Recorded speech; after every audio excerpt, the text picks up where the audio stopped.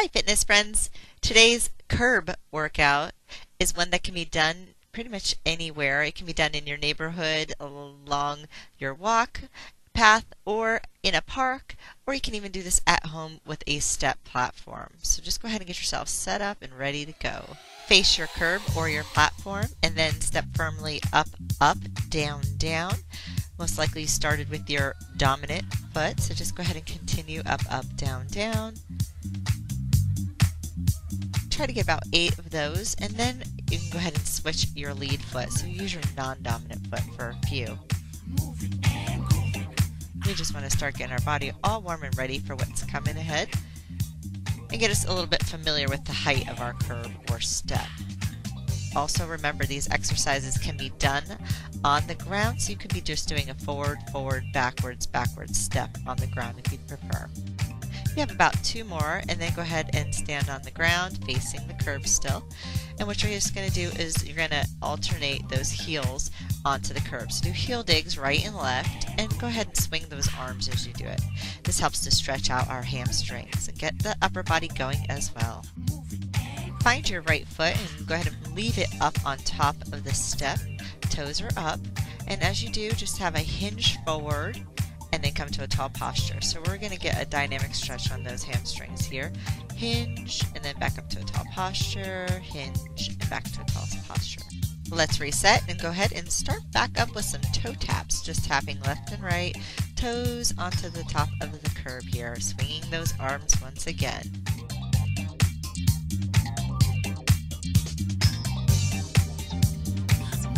Find your left foot go ahead and bring that on top of the curb, heel down, toes up, and go back to that dynamic hamstring stretch. You're just kind of sitting back into the hips, keeping the extended leg in front of you, and just keeping your chest proud.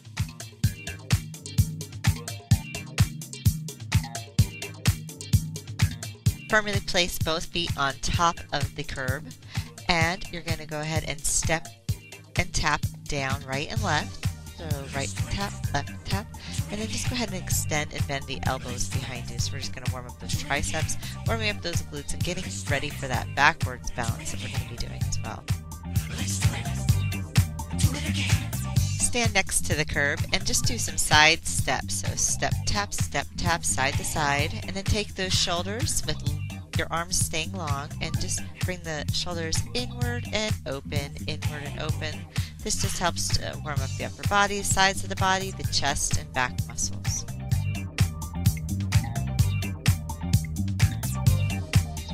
Bring your hands to your hips, continuing your sideways motion, but now just lower down, so more of a knee bend as we go side to side. And try to make that a little bit wider.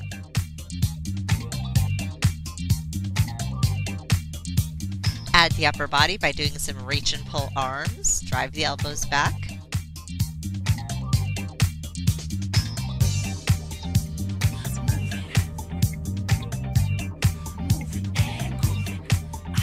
Stay with those feet wide and then just start bringing those heels up behind you. So this is called a butt kicker, bringing right heel up, left heel up, and then bringing both those arms up. So you're going to do some bicep curls.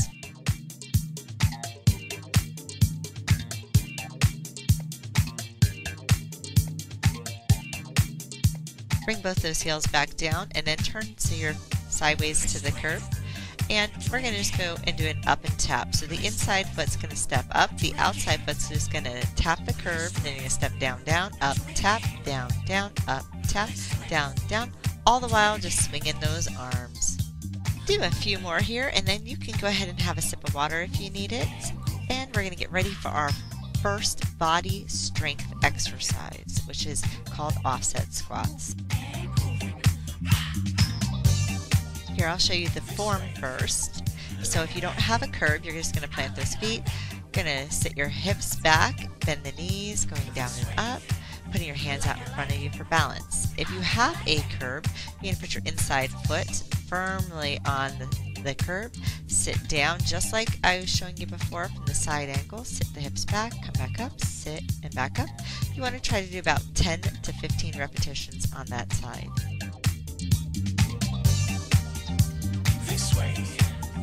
When you're done with your repetitions, you're going to go ahead and just turn around facing the other direction, and we're going to do those up and taps on the other side. So up, tap, down, tap, up, tap, down, tap.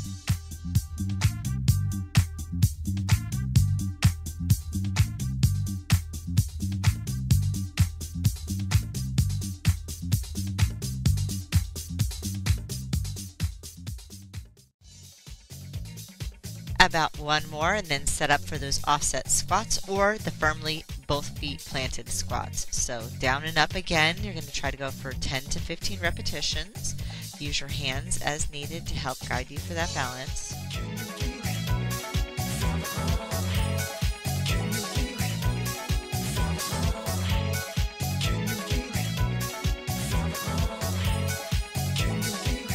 Moving along into a little bit more cardio, we're going to go ahead and put your right foot firmly on the curb, facing the curb, and put your left foot behind you. So we're going to go ahead and drive that left knee up. Knee repeaters here. So knee drive up, tap down, knee up, tap down. Use your running arms to help you balance. Again, your goal is to get about 10 to 15 repetitions on that leg. Once you've reached your goal, step down, firmly put your other foot on, and let's see those on the other side.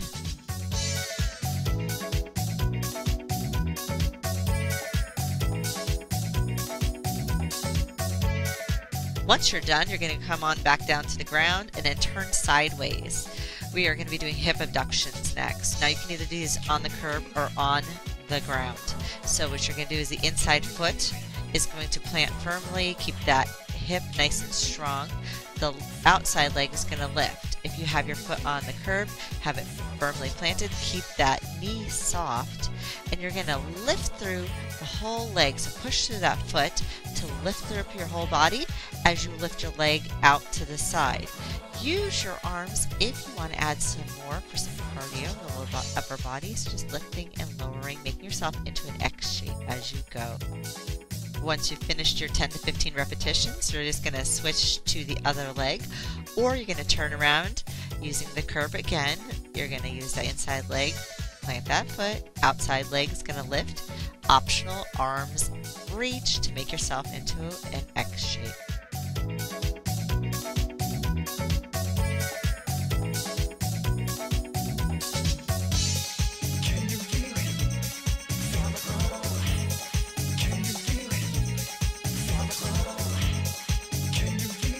For our next one, you may want a towel or a mat for your hands to be placed on. And this is either of three things your plank, your mountain climber, or standing version. For your plank, either your hands or your forearms on the curb.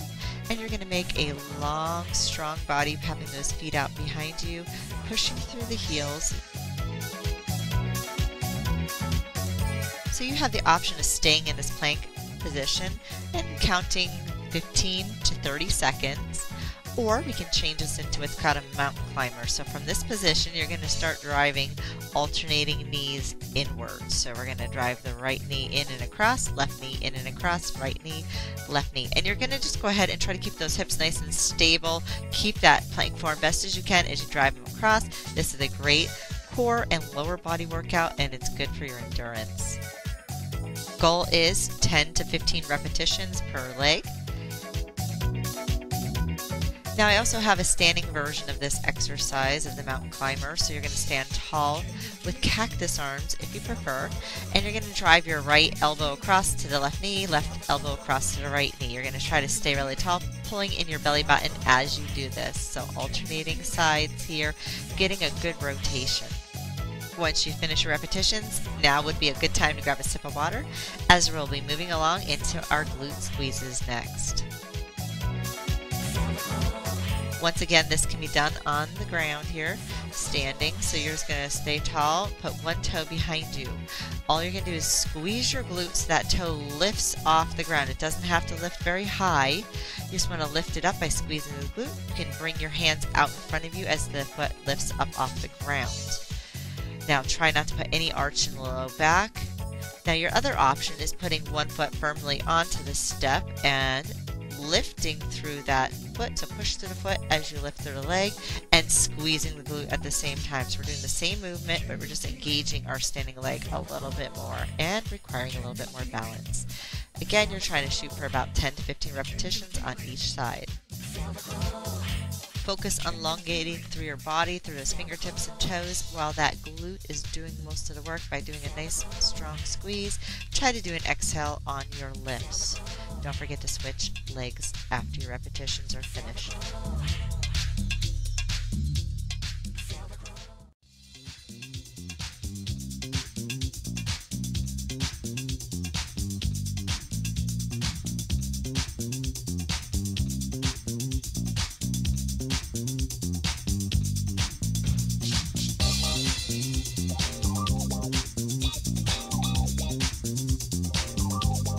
Let's go back to a little bit more cardio and something we've done before, knee repeaters, but this time we're going to alternate. So you're going to face the curve and you're going to step up, drive your knee, step down, and switch legs, step up, down, down, knee, drive, and switch legs.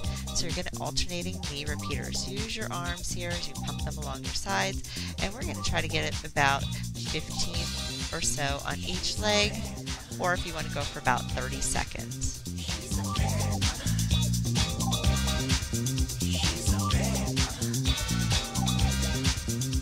Next move is for our triceps. You are going to either use the curb or if you have a bench nearby, a really sturdy bench, you can use that as well to get a little higher off the ground.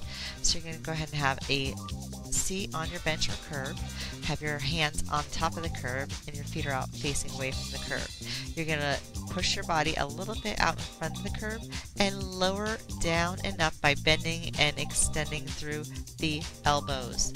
Now your back is going to be very close to either that bench or the curb and keep those knees bent you have the option of elongating one of those legs for a little bit more resistance because now we have all of your body weight being supported in only one leg and then using those triceps. If you don't like the tricep dips, you can always go to another option of tricep push-ups. So you'd be in your plank position with the bend and extend of those elbows.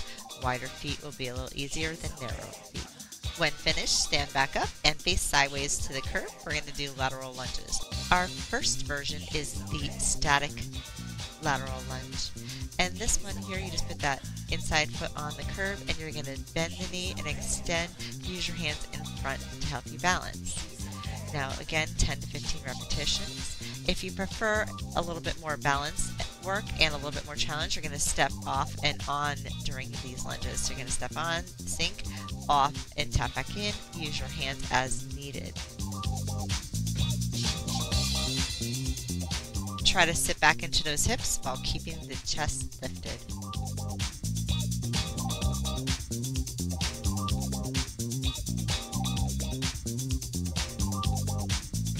Once you're finished, go ahead and just turn around and switch sides. Again, 10 to 15 repetitions. Whether you do them dynamically or statically, it's up to you, whatever feels best and whatever challenges you.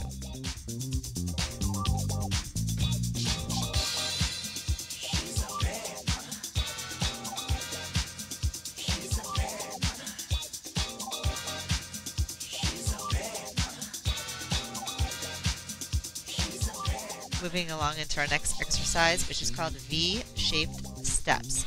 So you're just going to step forward in a V fashion and back. So it's going to be wide forward and back narrow.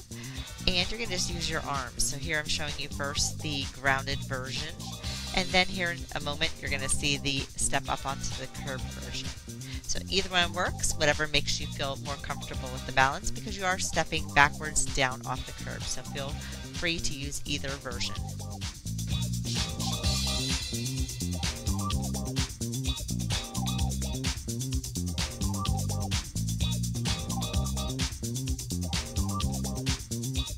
You have the option of sinking down a little bit lower into those legs on the top of that curve there when you get into that V shape. So feel free to add a little bit more intensity as needed.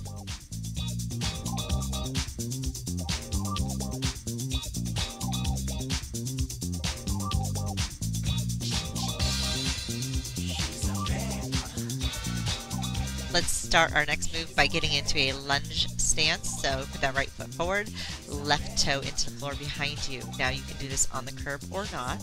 I'm going to show you a version here of just coming down and up into the legs. So you have that foot in the front firmly planted and all you're doing is sinking down and up down and up. And go ahead and put those hands out to the side to give you a little extra balance support as needed.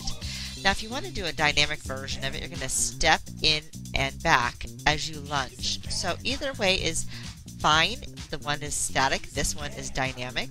And then go ahead and add some bicep curls. So curl those arms.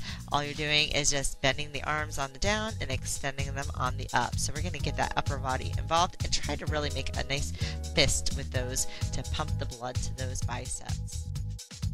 Switch sides when you're ready.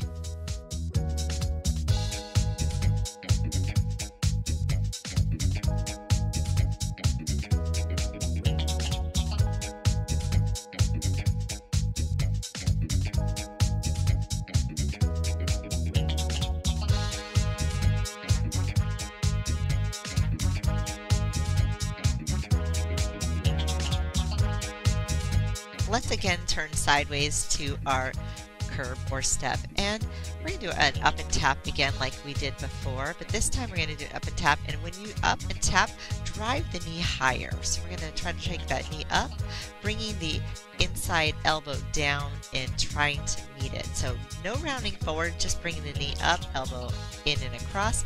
This is a good core workout along with our balance coordination and some cardio Here's an optional version, standing on ground, not using the curb.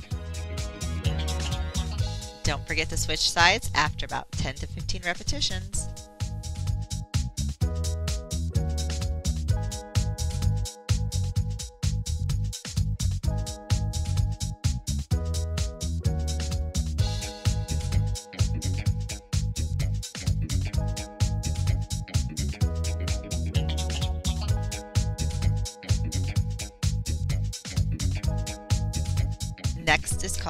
Balanced side shuffles.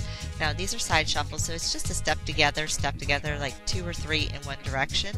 But to make them balanced side shuffles, you'll be standing on the curb. So make sure you have as much of your foot on the curb, toes facing forward, and you're just going to shuffle down the curb and back foot together, foot together, and you're going to try to get lower into those legs as you do. Just bring those hands up to help guard or to balance, and then just shuffling down and back. Again, you can go as fast or slow as you can because this is a balance exercise.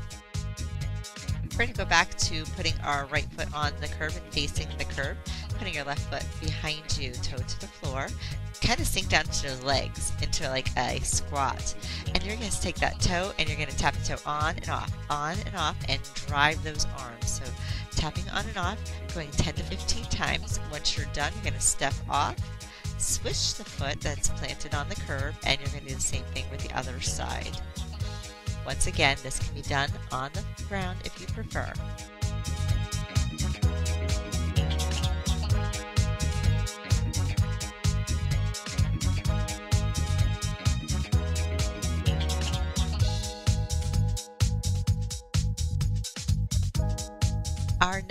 Exercise, heel raises, can be a little bit tricky on the curve. So if you have balance concerns, stay on the ground and just perform this on the ground. If you feel really comfortable on the curb, go ahead and bring both your feet onto the curb and just have your heels hanging off just a little bit. Hands in front, and you're just going to go ahead and lift the heels up and down. So lifting the heels up and down. Now the beauty of this exercise is on the curb, you're going to get a little more range of motion. So we're going to get to use a little bit more of that calf muscle. So if you feel comfortable trying it on the curb, go ahead, up and down. You are going to work your balance here, so just be as careful as you can. Have a slight lean forward.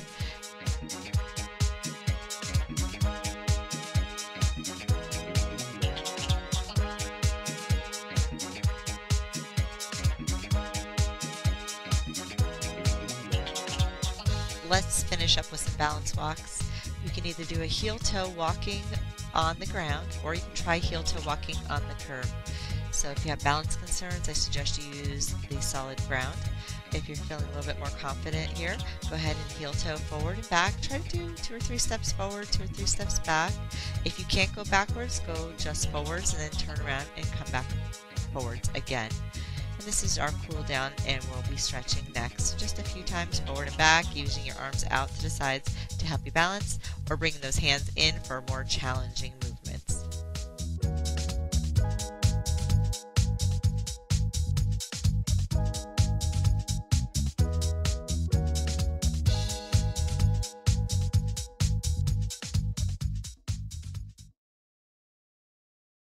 Grab a sip of water and let's do some stretching.